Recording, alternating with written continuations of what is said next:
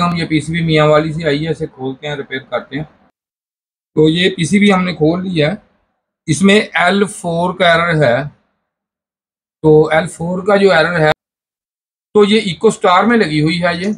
L four का error है eco star में। लेकिन ये पीसीबी आप देखते हैं कि काफ़ी कंपनियाँ यूज़ कर रही हैं इसे। तो अब ये एल फा एल फोर का जो एरर होता है, ये इसका जो आईपीएम है इसका एरर है एल फोर का तो हम अब इसका डायरेक्ट ही आईपीएम चेंज करेंगे, लेकिन चेंज करने से पहले इसको एक दफ़ा हम चला के देखेंगे कि एल फोर का जो एरर है, वो इसमें किस तरह आता है तो आप भी देख लें। तो इसको चलाने के लिए हम मुकम्मल सारा सेटअप इसका लगाते हैं अभी।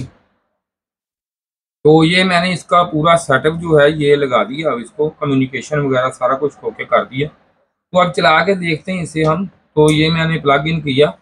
तो अब इसका ये देखें, मैंने इसको ऑन कर दिया, ये सेट टेम्परेचर इसका 16 है।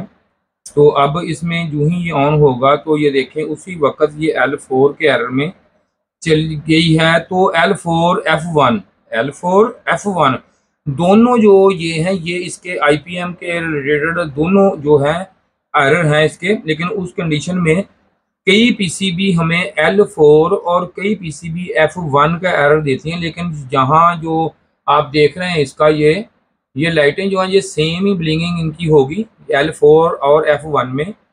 तो अब कुछ टाइम लगेगा, कुछ टाइम के बाद यहाँ पे एल फोर का ये एरर आएगा तो टाइम ज़ाया करने का इसमें टाइम नहीं होता तो इसको हम वीडियो लंबी हो जाएगी, इसे करें हम ऑफ़ तो अब हम एल फोर का जो एरर जैसे हमें पीसीबी ने बता दिया एल फोर का एरर है तो अब इसे करते हैं, हम रिपेयर इसका जो आईपीएम है, ये निकालते हैं, हम निकाल के आपको दिखाता हूँ मैं। तो अब मैंने इसका ये आईपीएम जो है, ये डिसोल्डिंग कर लिया है तो इसे निकाल लेते हैं बाहर एहतियात से इसको। तो ये बड़े एहतियात से यहाँ से ये देखें, बाहर आ गया। तो ये देखें, अच्छे तरीके से इसको ये डिसोल्डिंग किया है सामने। तो ये देखें आप पिन्ने सारी। तो इसके आप देखते हैं कि होल जो है, वो पूरे खुले हैं या नहीं, या कोई बंद तो नहीं, ये देखें चेक कर सकते हैं हम। आप कैमरे से ये देख लें आप कि अच्छे तरीके से मुकम्मल ये देखें, उसके जो है, साफ़ हैं, ये खुल गए हैं, ये देखें। कि डिसोल्डिंग गन से हम उसको उतारते हैं।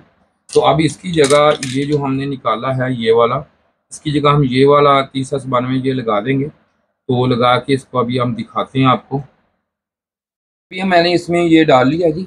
अब इसको इधर से सोल्डिंग करते हैं। ये इसका जो पार्टी है, ये हमने रख दी इधर। तो अब इसे कर देते हैं हम सोल्डर सोल्डिंग करके मैं आपको इसको पूरा जो पेस्ट लगा ली। सोल्डिंग करके आपको दिखाता हूँ ये।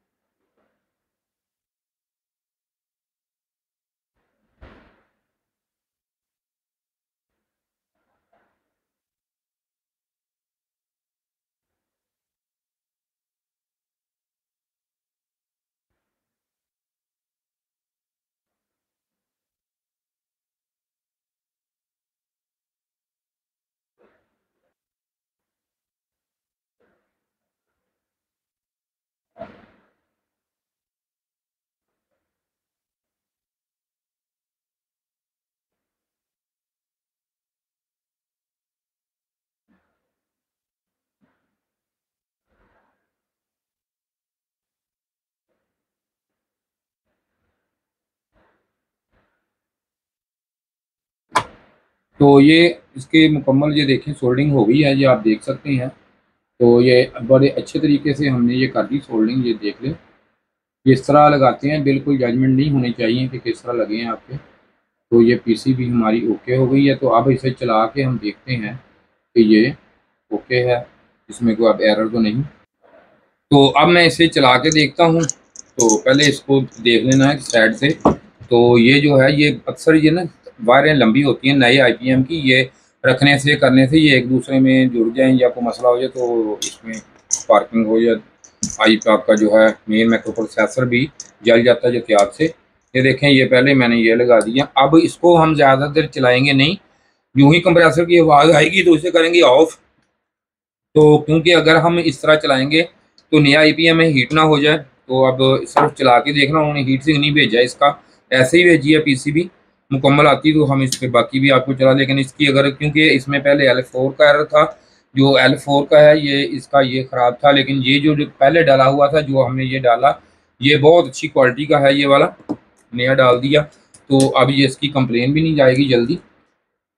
तो यहाँ पे इसकी हर चीज़ मुकम्मल हो चुकी है तो जो ही ये चलता है तो हम उसे उसी वक्त ऑफ़ करेंगे। तो मैक मैं रखता हूँ कंप्रेसर के पास तो ये कैमरा मैन जो हमारा, ये कंप्रेसर दिखा दे इनको। तो जो ही ऑन होता है तो इधर से दिखाएँ जरा ये देखें, ये मैंने ऑन किया। अब ये देखें कंप्रेसर इसका, ये देखें। ये देखें कंप्रेसर जो है, ये ऑन हो चुका है। देख लें, आप कंप्रेसर ऑन है जी इसका। तो अब हम इसे करते हैं ऑफ़ ये मैंने ऑफ़ कर दिया इसको। तो ये देखें कि एल फोर का एरर था तो ये आईपीएम की वजह से आ रहा था। तो हमने इसे चेंज कर दिया तो इसका एल फोर का एरर था, जो वो ख़त्म हो गया।